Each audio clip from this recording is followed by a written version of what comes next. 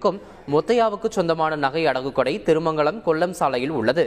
இந்த கடைக்கு மூன்று நாட்களுக்கு முன் வந்த 55 வயது முதியவர் தாம் கொண்டு வந்த பணத்திற்கு சில்லறை கேட்டுள்ளார். கடையில் இருந்தவர் சில்லறை கொடுத்தபோது அதை வாங்கிக் கொண்டு பின்னர் வேண்டாம் என்று கூறி தாம் கொடுத்த பணத்தையே வாங்கிச் சென்றார். அவர் சென்ற பிறகு பணத்தை எண்ணி பார்த்தபோது நான்காயிரத்து அறுநூறு ரூபாய் குறைவாக இருந்தது கண்டு அதிர்ச்சியடைந்து சிசிடிவி காட்சிகளை ஆய்வு செய்தனர். அப்போது முதியவர் சில்லறை வாங்கிய நேரத்தில் உள்ளே நுழைந்த மற்றொரு நபர் மேஜையின் கீழ் வழியாக பணத்தை எடுத்துச் சென்றது தெரிய வந்தது இதுபோன்று வேறு யாரும் ஏறா ஏமாற்றாமல் இருக்க சிசிடிவி காட்சிகளை சமூக ஊடகங்களில் பகிர்ந்துள்ளனர்.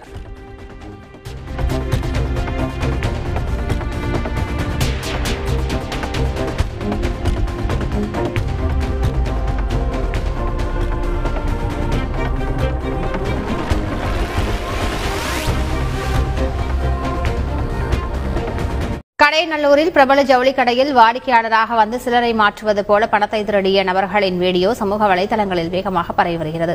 பில் கவுண்டரில் இரண்டாயிரம் மதிப்பிலான ஐந்து நோட்டுகளை கொடுத்து அவர்கள் சிலரை வாங்கியிருக்கின்றனர். பின்னர் அருகில் இருந்த நபரிடம் ஐந்தாயிரத்தை கொடுத்து அந்த நபர் கடை ஊழியர் ஐந்தாயிரம் ரூபாய்க்கு தான் சிலரை தந்ததாக கூறி வாக்குவாதத்தில் ஈடுபட்டார்.